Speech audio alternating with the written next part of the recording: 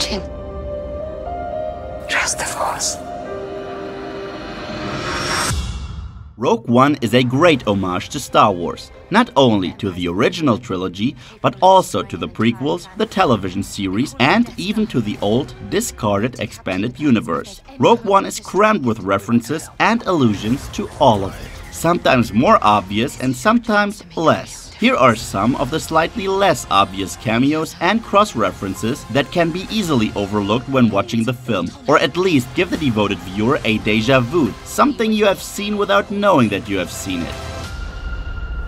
Most of the cameos are from characters that old Star Wars fans recognize immediately, even if one of the names does not directly come to mind. As with General Dodonna, whose role in the briefing room in Episode 4 was only marginally greater than in Rogue One. But they did not pass on that opportunity and even cast the role more prominently than they could have. It is none other than Sir Barristan Selmy, the best swordsman of the Seven Kingdoms in Game of Thrones. Even now I could cut through the five of you like carving a cake. Here, boy. Melt it down and add it to the others.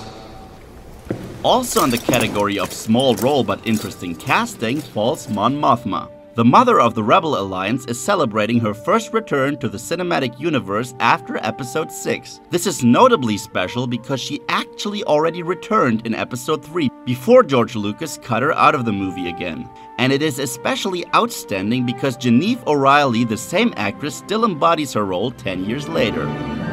Casting by similarity alone does not always work. This is the case with CGI Leia and CGI Tarkin. CGI, computer generated imagery, is a relative term, because for the technique used in the movie you still need stand-ins, which at least resemble the originals and at the same time imitate them perfectly. Legendary actor Peter Cushing once brought Grand Moff Tarkin to life with his distinctive appearance. British actor Guy Henry does not only look like him, but also lends his own voice, with stunning similarity to Cushing's unmistakable accent. The regional governors now have direct control over their territories. While Guy Henry is most known for playing the treacherous sorcerer in the last two Harry Potter films, Leia's double, the rather unknown Norwegian Ingvild Deila, primarily had to look similar to the original Princess of Alderaan because the voice heard in Rogue One is taken from archive material and we're actually listening to deceased Carrie Fisher's own voice. Red Leader, this is Gold Leader. I copy, Gold Leader. We're starting for the target shaft now. We're in position. I'm going to cut across the axis and try and draw their fire. The trick with archive material did not only work for Leia. The two X-Wing squad leaders, Red Leader and Gold Leader, were also brought back into the Rebel Alliance with previously unused archive material. Red 5 standing by. When Luke Skywalker joins the Red Squadron in Episode 4, his identification is Red 5. Rogue One shows us that this identification did not just came out of nowhere. The prior Red 5 gets actually blown into pieces during the battle for Scarif. He seems to shine through absence, but you can spot him if you listen closely. Luke's future colleague and friend Wedge Antilles, in the old trilogy played by Denis Lawson. His voice got dubbed in episode 4 in order to cover up his British accent. In Rogue One, however, you can hear exactly that voice on the radio. For this original voice, David Ankrum was dragged in front of the microphone. This is love for detail. Thanks, Wedge. Good shooting, Wedge. Captain Antilles, Yes, Your Highness. I'm placing these droids in your care. Treat them well, clean them up. Have the protocol droids mind wiped. What? Unrelated to Wedge Antilles is Captain Raymus Antilles. Raymus Antilles gets instructed by another returner from Episode 3, Bail Organa.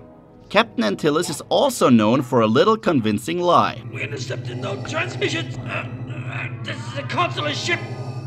We're on a diplomatic mission. If this is a consular ship, where is the ambassador?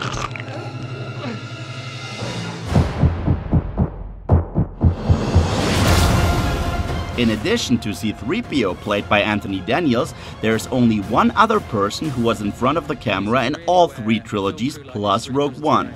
Fan favorite actor Warwick Davis. Here with his best mask ever. And surprise, surprise, Warwick Davis will also return in episode 8, directed by Rian Johnson. And just like Gareth Edwards and J.J. Abrams before him, Johnson belongs to this new generation of filmmakers that grew up with Star Wars and are now allowed to direct their childhood dreams themselves. He and his producer Ram Bergman are operating the laser of the Death Star in the film, and again without railings, which seems anything but secure.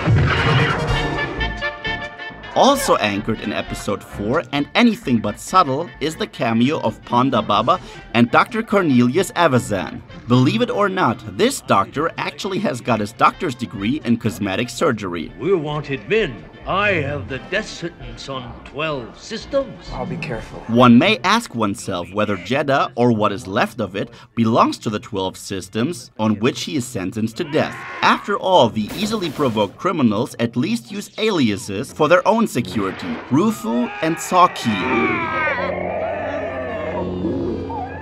This fact surfaced from the official visual guide to the film. Rogue One stays true to the old tradition of Star Wars by showing new background information of the film itself and of re-interlacing known information. This also applies to the Star Wars Rebel series. The brief appearance of the series ship Ghost and of R2 equivalent Chopper in the background on Yavin 4 suggests that Rebels will sooner or later culminate in the first big test of the Rebel Alliance, the battle for Scarif. It remains to be seen whether the battle will be the big finale of the show or one big highlight as an intermediate step in a long journey. The fact that Rogue One and Rebels have overlapping storylines is also evident in a cameo by Saw Gerrera, who once had his origin in Clone Wars and meets his demise in Rogue One, marked from the Guerrilla War. We also meet a younger, bald headed version of the character in later episodes of Star Wars Rebels. This interlacing of film and expanded universe also becomes very clear by a space cruiser of the Hammerhead class. These cruisers were already used in the old Sith Wars and are familiar to fans from the Old Republic video games. Now they finally celebrate their return into the official Star Wars canon, although they still exist in the Old Republic. Rogue One brings back a lot of material marked as legends, and with it a self-evidentness which may not necessarily have been expected in such a blockbuster aimed at a broad audience. The same can be said about the reintroduction of Darth Vader. One of the reasons why a lot of speculation was going on about the Bacta tank seen in the trailer was the presence of the Palace Guards. According to the old canon, they only protect the Emperor. Rogue One takes the artistic license to adjust the established canon in favor of an impressive scene. The fact that we are in Vader's personal fortress in this scene corresponds to the old expanded universe. Only instead of the acid gnawed planet Vjun, this is a planet that the film does not refer to by a particular name. And as we know now, it is because we already know the planet, Mustafar, the planet on which Anakin Skywalker hit rock bottom. Vader now retreats to Mustafar for rest and recreation. At the same time, the planet is a constant reminder of how he became what he is now. Don't make me kill you. Mustafar also helps him to keep his anger and grief by reminding him of the moment when he was burned alive. Rogue One does not just take extensive use in both the discarded and the current expanded universe, but also creates something great and unique out of it. Not for the sake of a nod, but for its own characters and their story.